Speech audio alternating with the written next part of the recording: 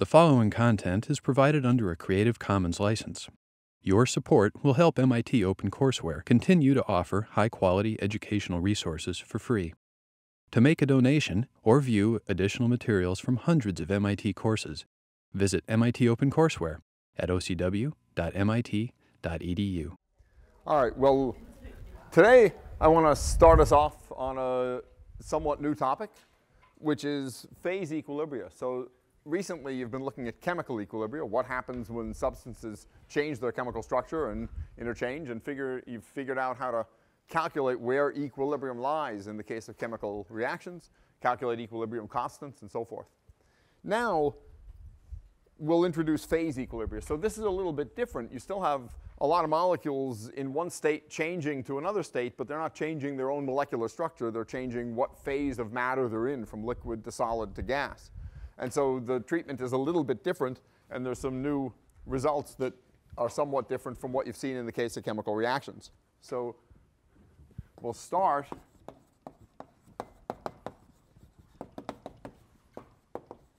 with phase equilibria in just one component systems.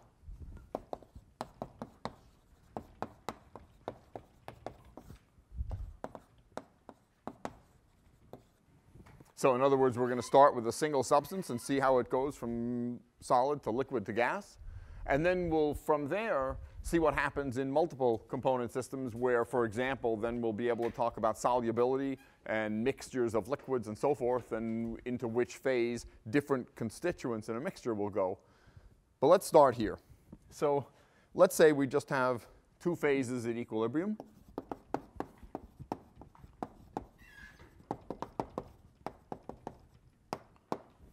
And this could just look like, you know, ice and water.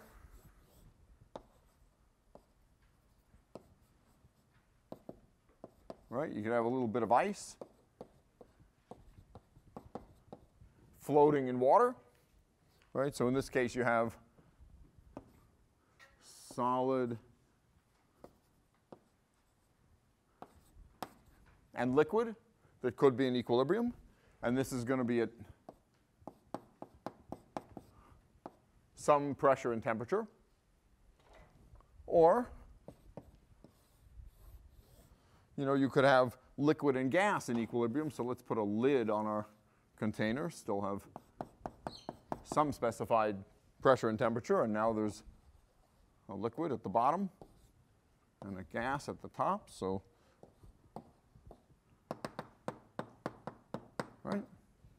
You could have equilibrium between liquid and gas phases. And in some cases, you have equilibrium between solid and gas phases, depending on the pressure.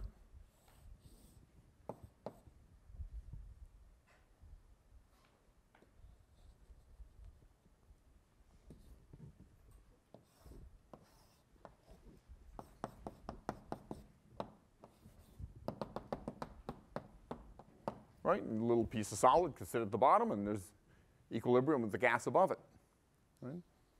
And so to start, what quantity are we going to need to look at to tell whether the different phases are in equilibrium? Or if they're not in equilibrium, in which direction are things going to go? Are things going to you know, change so that the ice will melt and we'll have all water, or so that the water will freeze and we'll have ice? What quantity is going to tell us about all that?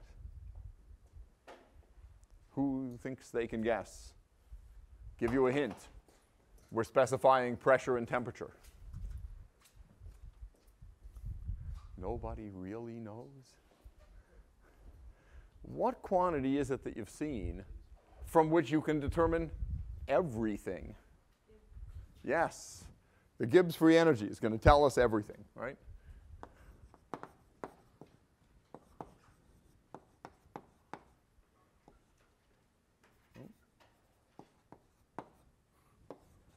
And we're going to frame the discussion in terms of the chemical potential, that is the Gibbs free energy per mole.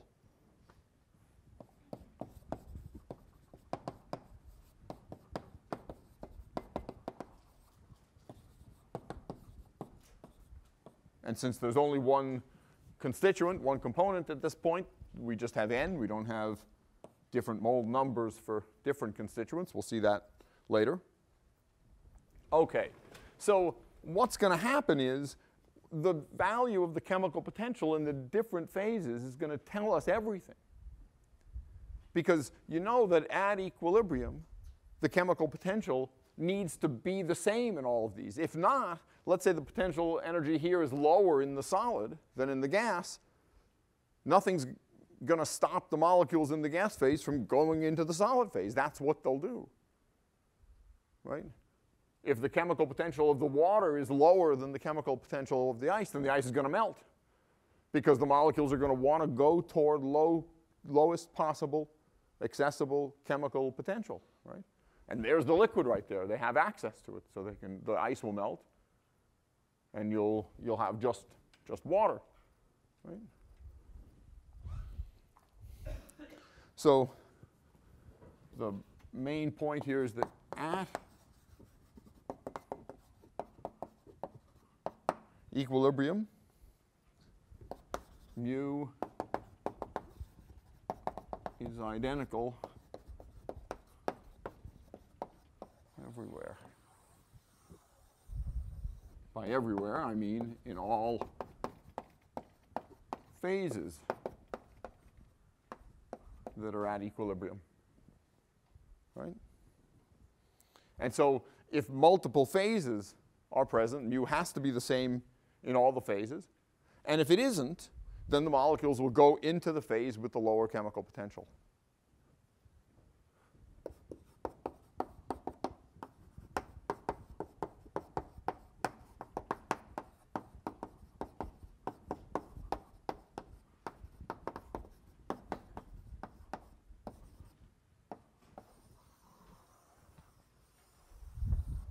And this is what's going to guide everything in our consideration of phase equilibrium. Right? So, okay, what's going to happen? Let's consider our ice-water equilibrium, right? So, of course,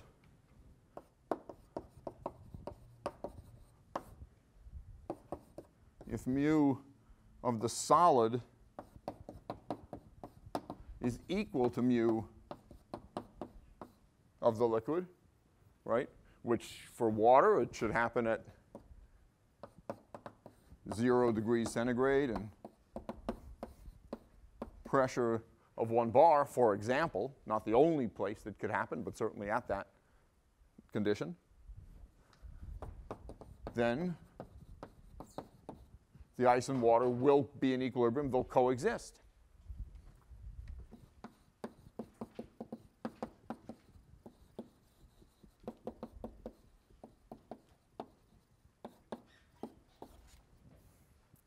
Now, you know, what happens if you just want some ice water and you take some ice out of the freezer and you put it in the cup and you put some water in, right? And you see them both there. They're sitting there, right? Maybe for, for a while. And yet, it's not at zero degrees centigrade at one bar. Maybe at one bar, right? You might be out in the room, but it might be room temperature, right? Does that tell us that this isn't true? What's going to happen? Yeah, the ice is going to melt. It may take a while, right? This doesn't tell us about the kinetics of it, and it could take a while gradually from the surface inward for the ice to melt. So the fact that you might see something sitting there with two phases present, that alone, of course, doesn't tell you that the two phases are in equilibrium, and it may take time for equilibrium to occur. Right? Okay, and what's going to happen if it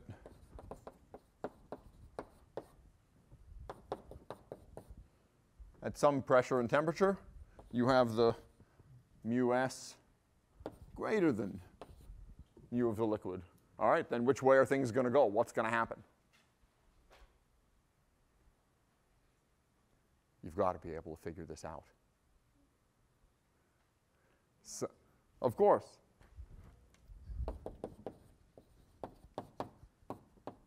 Right, the ice is going to melt. The chemical potential of the liquid is lower, and so molecules are going to move toward that, that phase. And of course, if mu solid is less than mu liquid, then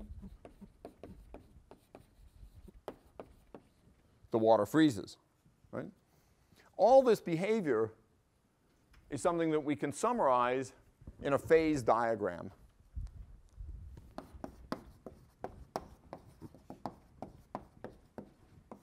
So the phase diagram can tell us for all pressures and temperatures what phase or what phases will be present in equilibrium. And so typically, phase diagram might look like this.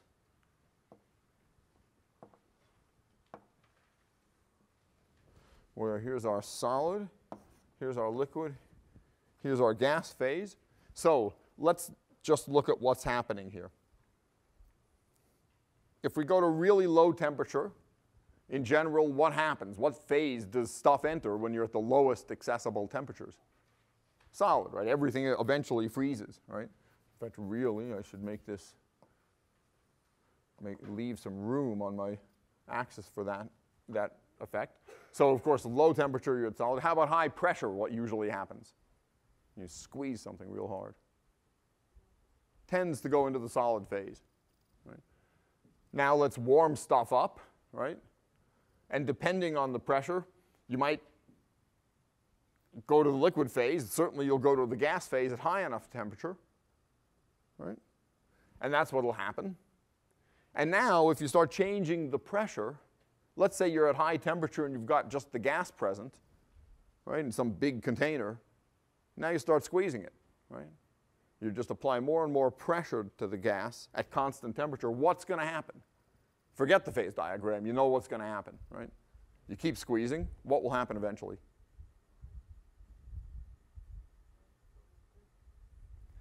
This isn't going to be part of your grade. You can speak up loud, and even if you're completely wrong, nothing bad is going to happen to you. Yeah, it's going to liquefy, of course. You're going to start getting liquid to form. It's essentially Le Chatelier's principle, of course. The liquid occupies less volume. The density of the liquid is much higher. So as you increase the pressure, the stuff wants to go from the gas phase to the liquid phase. Yeah. You know, well, so okay, we, with water, you know, you know that at room at ordinary pressure, right? You know where the gas liquid coexistence would occur, right? So, so let's say you're there. Let's say you're at, at, at um, the boiling point, right? And now, so, so you already in some sense know that, that that's a point that's somewhere on the gas liquid curve, right? So now what's going to happen? Well, if you from there keep that temperature constant, you're at the boiling point. And you know, you could, you could easily do this. You've got a pot that's covered, right? And it's boiling. So there's liquid down here and there's gas here. So what'll happen as you start squeezing, literally what'll happen is you'll squeeze out all the room for the gas and eventually you'll have all liquid, right? And in fact, you know what'll happen at that point if you keep squeezing and you keep the heat on, the liquid will get hotter than the boiling point, right? Normally that doesn't happen if you're just out at atmospheric pressure because it'll boil, right? And instead of getting hotter, molecules will simply leave the liquid and go into the gas phase. Yeah, so that's what will happen. If you increase the pressure, you'll liquefy all the gas. And obviously the opposite will also occur. If you, if you just allow the volume to expand and keep expanding, you know, maybe you don't have too much liquid there, you wouldn't have to expand it too much. You'll run out, of all the liquid will vaporize, and you'll just have gas at, you know, uh, at, at 100 degrees C. You could heat it more if you wanted, but even there, right? Okay? So in other words, changing the pressure, you know, you, if you think about actually executing that in the lab, or in this case, even in your kitchen, you'll, you'll get the result that you should see on the phase diagram. So let's just look at this. So we've already talked about boiling. That's what's happening along this line, right? The line, and I'll, I'll explain the end of this in a while, the, all these lines are coexistence curves. That is, these are where you have equilibrium between two phases. They coexist in equilibrium. And it could happen for water, for that case, for um, you know, the 100 degrees C and one bar, but that's not the only place. It could happen at a whole bunch of temperatures and pressure because as you vary the pressure, you, you're almost surely familiar with this, the boiling point changes, right? So the boiling point, you know, up in Denver at high elevation is not the same as the boiling point here in Massachusetts right at sea level, right? because the pressure is lower up in Denver. Right? Okay. Let's just look at the others. So, of course, this is going from solid to liquid, so we're looking at melting. And then there is solid gas equilibrium in many cases, and this is sublimation.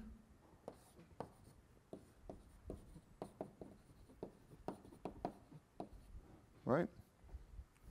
And this end point is called the critical point. And there's one point where all three phases are in equilibrium called the triple point. Okay? So, so let's look at the various cases. So for example, let's look at the melting line. Let's, it could be water, it could be water and ice, solid going to liquid, right? Well, let's just look at them one at a time. What you have there is mu of the solid at some temperature and pressure is equal to mu of the liquid at the same temperature and pressure, right? Now, just if we back off and look at this essentially mathematically, there's an equation here, and there are two free variables, temperature and pressure. The equation puts a constraint on them. So there are going to be a bunch of solutions along some line or some curve. Right? So in other words, it's one equation in two unknowns, temperature and pressure, right?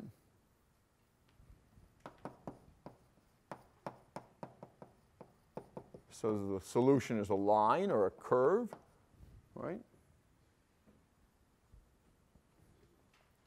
In other words, we could solve for pressure as a function of temperature or temperature as a function of pressure along the coexistence curve, right? And we'll do that shortly. Okay?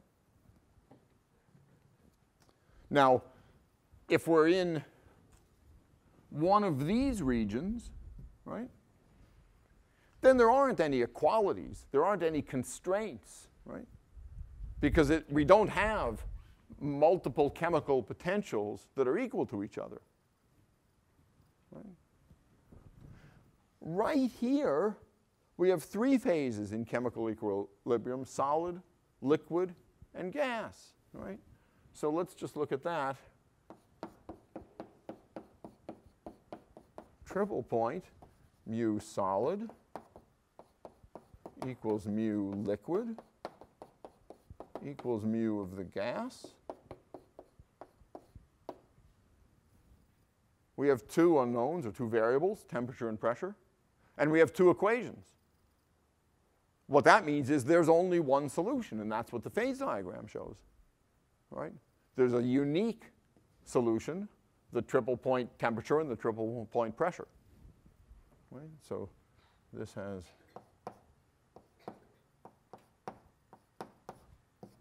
only one solution.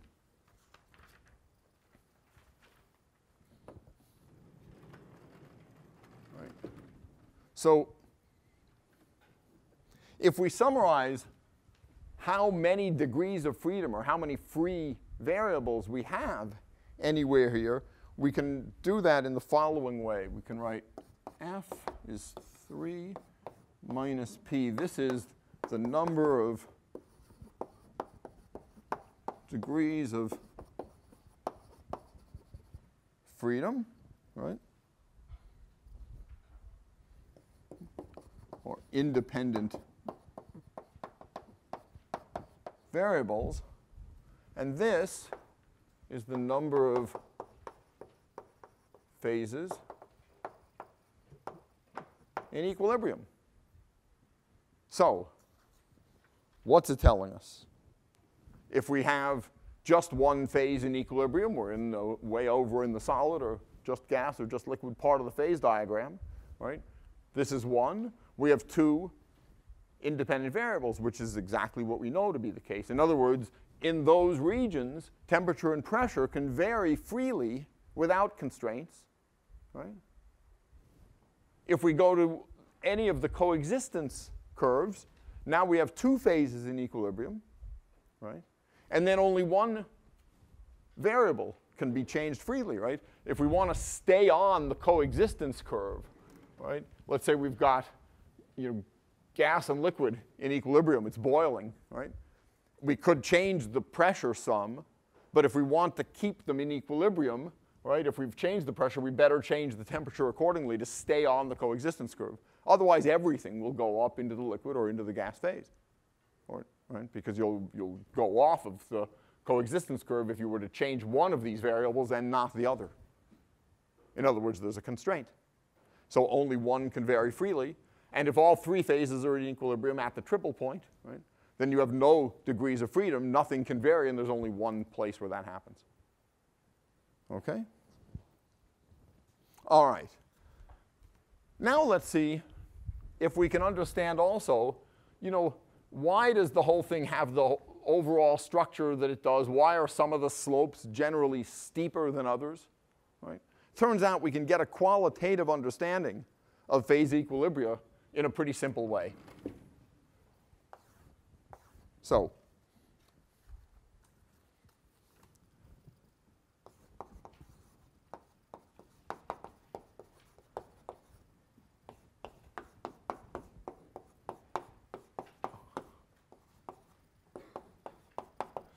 In other words, can we understand how P and T change with respect to each other along any one of these coexistence curves? Right? Can we understand the qualitative features of the phase diagrams? Right?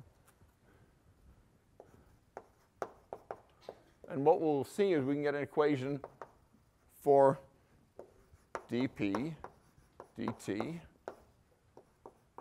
at coexistence. That's, in a sense, our objective here in order to get this sort of qualitative picture. Right? So let's say we are somewhere here, it could be the gas solid part, and you know we have some T, and now we go to T plus dt, and out here is pressure. How much does the pressure change when we stay on the coexistence curve.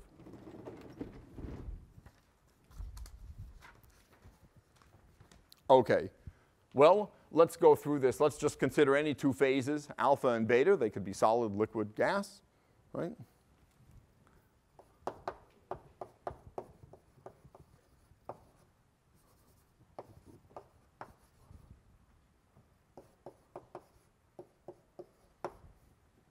And the main condition, if we're going to be on the coexistence curve, is that the chemical potentials have to be equal, right?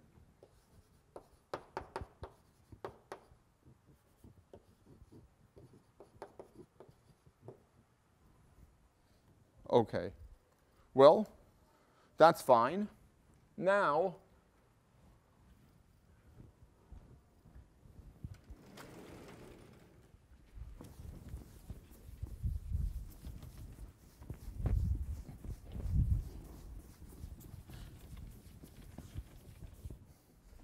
let's change the conditions a little bit, staying on the, the coexistence curve, right? So let's start again. Mu s, or mu alpha, T and P is equal to mu beta at T and P, right? Now let's let temperature go to T plus dt and pressure go to P plus dP, right? But since we're staying on the coexistence curve, still at the new temperature and pressure, mu alpha and beta have to be equal to each other, right? So mu alpha is going to go to mu alpha plus d mu alpha. There'll be some change in it. Mu beta is going to go to mu beta plus d mu beta. But we already had that mu alpha and mu beta at the beginning were equal to each other. And these have to be equal to each other because we've specified that we're staying on the coexistence curve. So what that says is d mu alpha equals d mu beta, right? And now, remember, in general, d mu is d g per mole. So our fundamental equation for g, it's minus s per mole dt plus molar volume dp, right?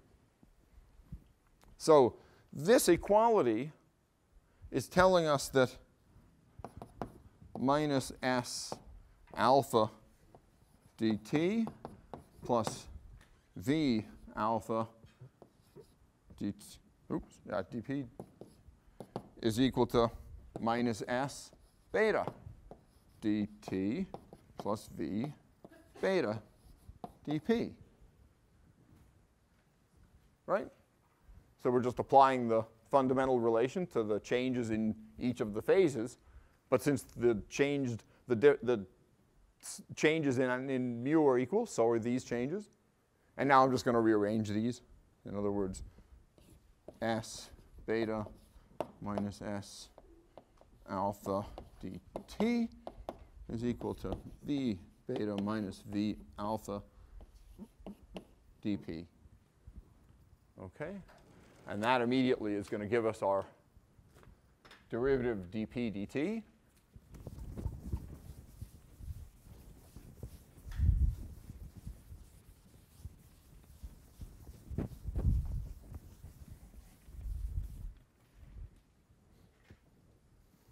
So dp dt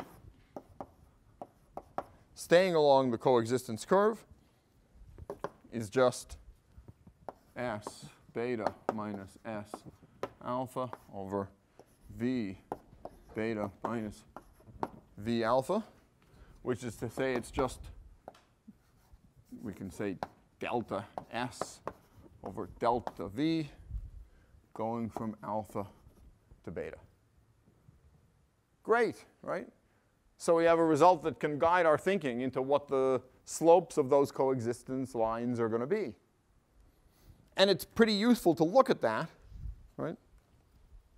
By the way, another we can we can actually express this in, in another way if we if we want, and in some cases it's a, it's it can be advantageous. And that is we know that, of course, G is H minus TS, right? So our our mu alpha equals mu beta condition, or a d mu alpha is d mu beta condition, can be applied that way. That is h alpha minus ts alpha equals h beta minus ts beta. So we can do the same rearrangement, h beta minus h alpha equals t s beta minus s alpha. And what that's saying, in other words, is that we can substitute for delta s, right, delta h over t. So we can write our relation for dp dt in two ways. We can also write dp dt at coexistence is equal to delta h over t delta v going from alpha to beta. Okay?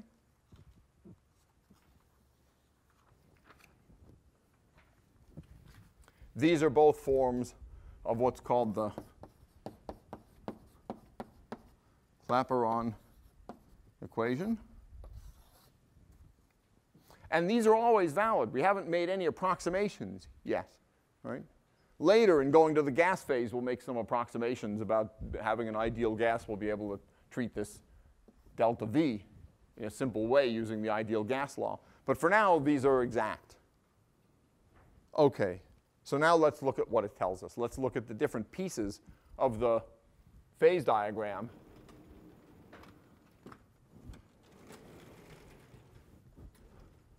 and see what we can conclude.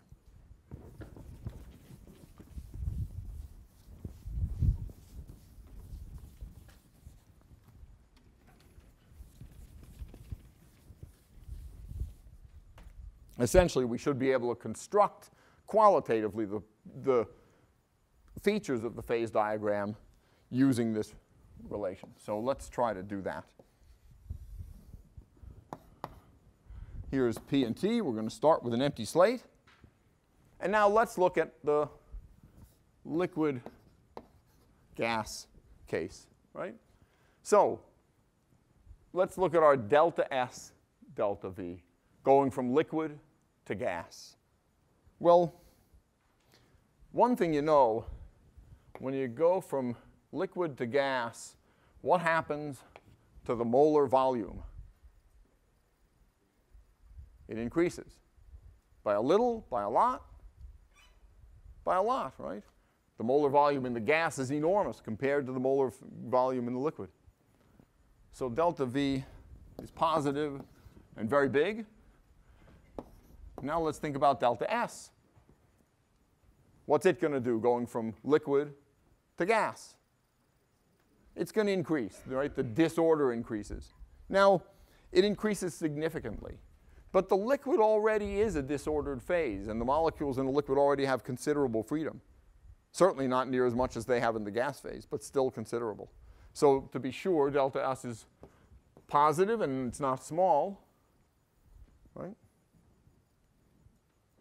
So there's your condition, right? It's not nearly as big as delta V is going to turn out to be, right? So what's going to happen here is if we look at the slope going from liquid to gas, you know, it's positive, but it's not enormous. It's not very steep. So dp dt for liquid gas coexistence, right? Greater is zero, but small, not steep slope. All right. So somewhere we're going to put our liquid gas curve, and I, you know, where exactly we can worry about it. We haven't put any numbers on this scale, but the point is wherever it is, it's not going to be a very steep slope. Okay. How about solid to gas? Well, so what's delta V from going from the solid to the gas? What happens to the molar volume? What happens to the molar volume going from solid to the gas? Of course, by a lot, by a little, by a lot. It's an enormous increase, even bigger than before, right? How about delta S, the entropy change? Yeah, it increases, and also by a lot, because now you're going from an ordered crystalline solid, usually, right? So you have a very, very low entropy there, into a disordered phase, not just the liquid, but the gas phase. So this is also very big, right?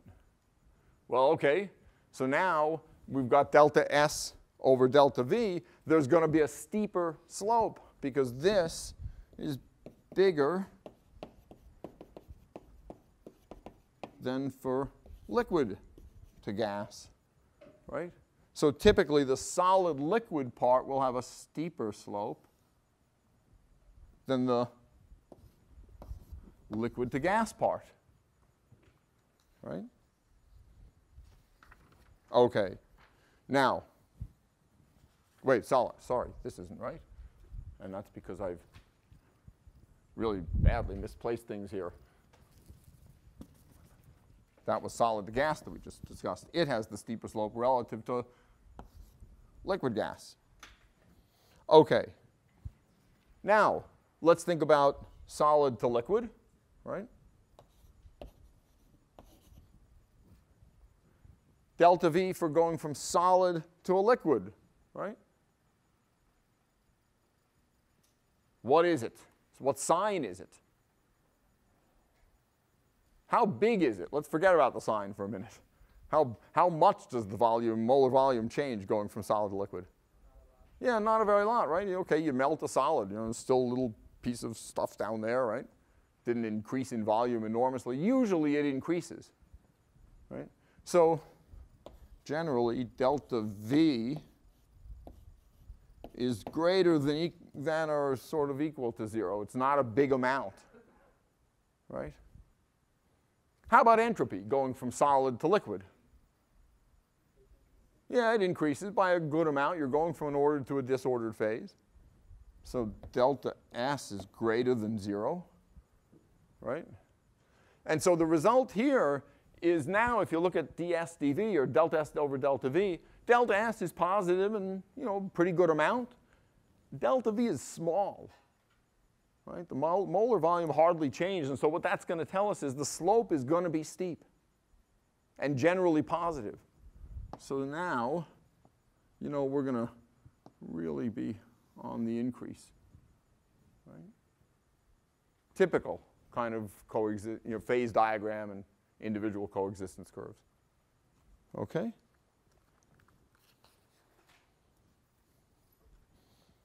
And, and all these things, again, you could understand in terms of Le Chatelier's principle, right? In terms of, you know, going from, say, solid to liquid, if, the, if you, you know, think about two pressures, let's go from P1 to P2, some higher pressure, right? Where are you? Well, you know, if you want to stay on the coexistence curve, you need to raise the temperature quite a bit right, in order to do that because basically, you know, to keep on there, you know what's going to happen if, if, if you have, say, solid and liquid, right? It's ice and water. You know the freezing point, it does depend on the pressure, of course, right? But since the change in the volume isn't that big, right? You know, what happens is a modest change, if you, if you change the, the temperature by a little bit, maybe easier to think about it that way, you've got to change the pressure by a lot to stay on the coexistence curve. Otherwise, you'll have a great tendency to simply go into one phase or the other. Right? All right. So now we've, in a sense, reconstructed the coexistence curve by our consideration of the, the Clapeyron equation. There's another way we can usefully understand the qualitative features of the phase diagram. And that's just by looking at mu itself, looking at the free energy itself at different temperature, right? So let's just do that. Let's just consider mu of T at some fixed pressure. Just, just qualitatively what will happen. So let's go back to d mu is minus s dt plus v dp. And just look at the derivatives, right? So d mu dt at constant pressure is minus s, minus the molar volume. This is the one we're really going to look at. Of course, we also could look at d mu dp at constant temperature, and it's just the molar volume, right? Let's just look at this. So we know that entropy is always a positive number, right? The entropy at the lowest in a perfect crystal at zero Kelvin could be what value? Entropy of a perfect pure crystal at zero degrees Kelvin. Zero, right? And it's only going up from there, right? So entropy is always positive.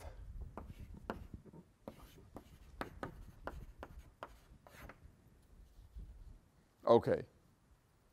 So what that tells us is that then if we just look at mu versus t, it's, it's negative s for whatever phase, so it's always negative, right?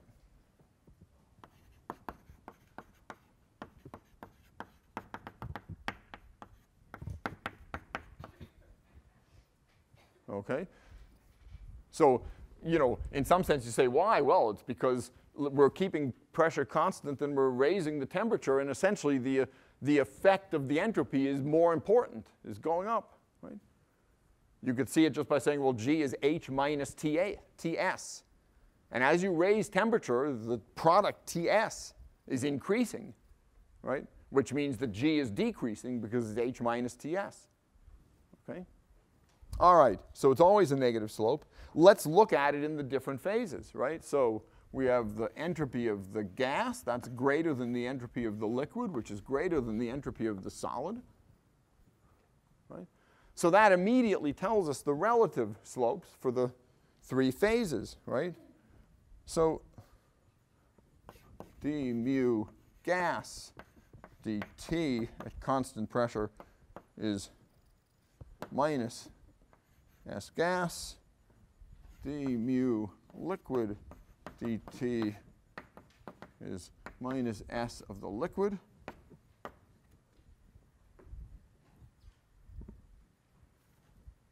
d mu solid dt is minus S of the solid, and the magnitude is much bigger in the gas than the liquid than the solid.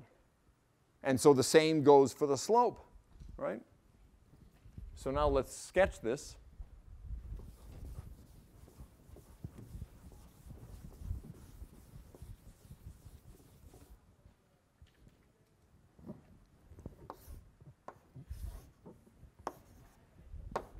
There's mu, and there's temperature. So what we've seen is for the gas, the first of all, the slope's always negative.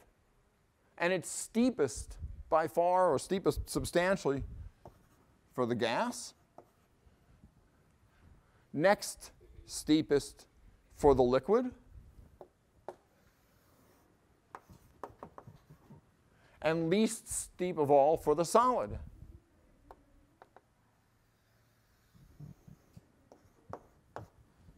right? Now, there can be variation because, of course, these do change as a function of pressure, right? But this, certainly the slope, the magnitudes of the slopes are always going to be like this. What could change as a function of pressure is where these happen to lie, right? But this is certainly typical. So what does it mean? So it means, remember, the stuff is always going to be in the phase with the lowest value of mu. All right? So at low temperature, down here, that's where the solid phase has the lowest chemical potential. Right?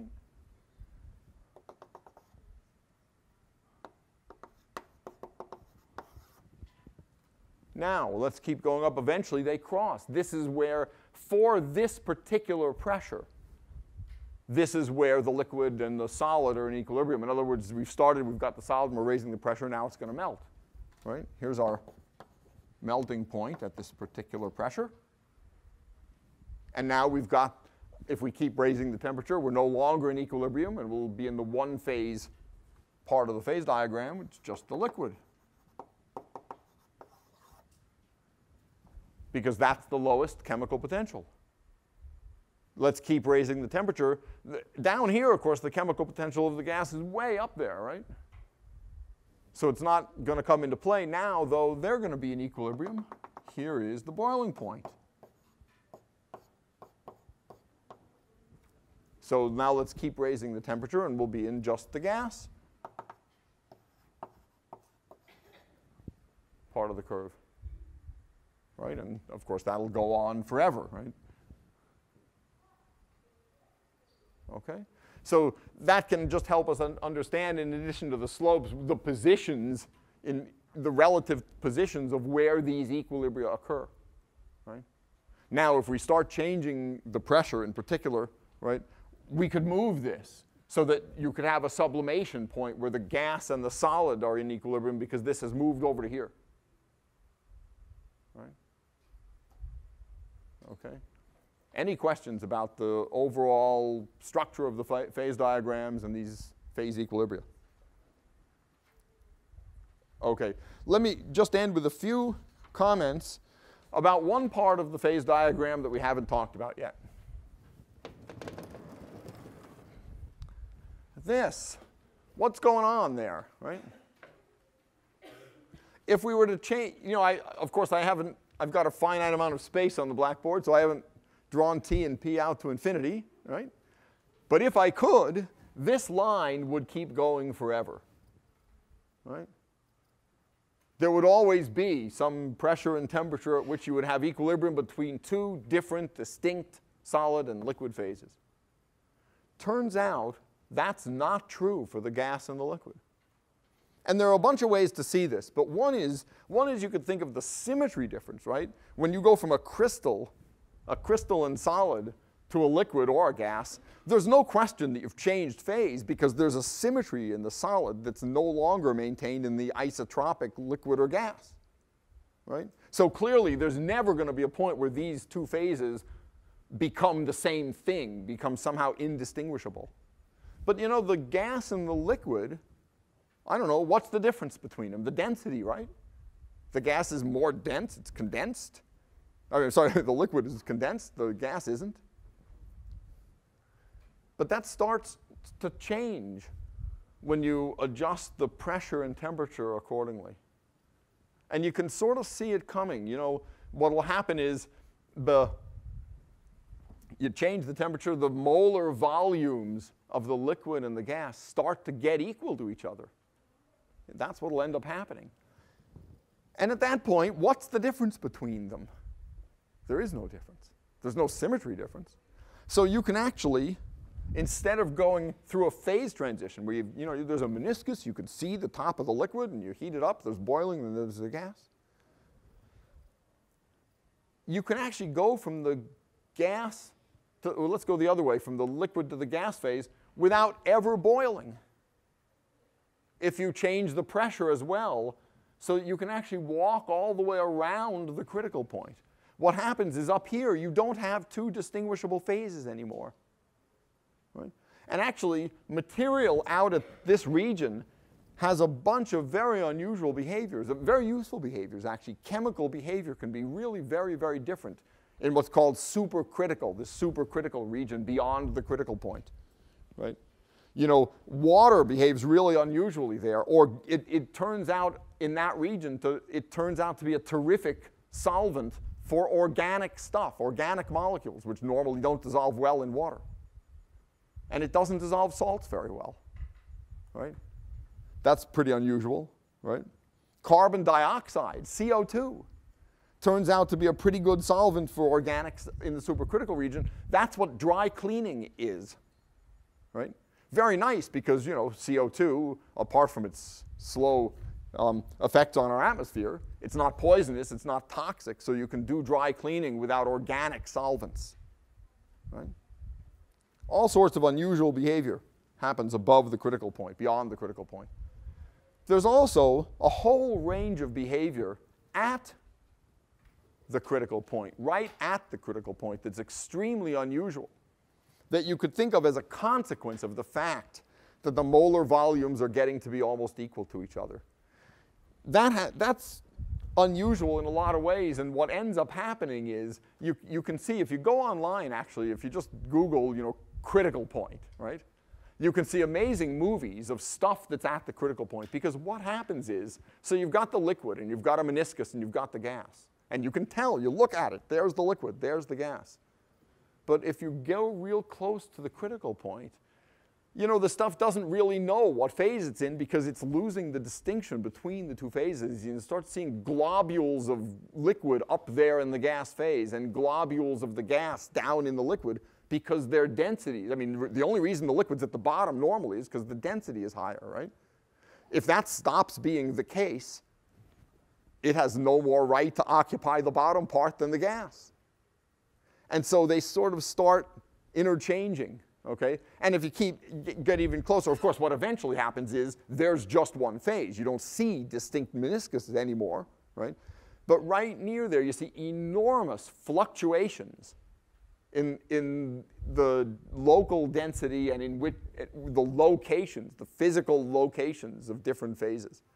And we'll see that come in, in another context later because when we talk about two-phase equilibria solutions, you get this with you know, oil and water. With, you get critical mixtures also where at, right at the a special point the meniscus goes away and the oil and water start interchanging. And, of, and in those situations, a tiny amount of force get, can give you a really big response, right? Because the two things are just teetering in the balance, right? So a little bit of force pushes things one way or the other. That's actually useful in a whole bunch of different cases because that critical behavior happens in all kinds of phase transitions. Magnetic phase transitions, ferroelectric phase transitions, and in those situations, a tiny little magnetic field, for example, gives you a really big change in the magnetization, in the alignment of spins. Okay? And that's very useful. You can get a very big material response and change. You can switch something, for example, with a really small external field. And in this, these cases, you can change the density really a lot by only a small change in pressure. Okay, next time we'll extend the Clapeyron equation and also go to, to component systems. So you actually, Professor Bawendi will take over again on Friday, and we'll see you then.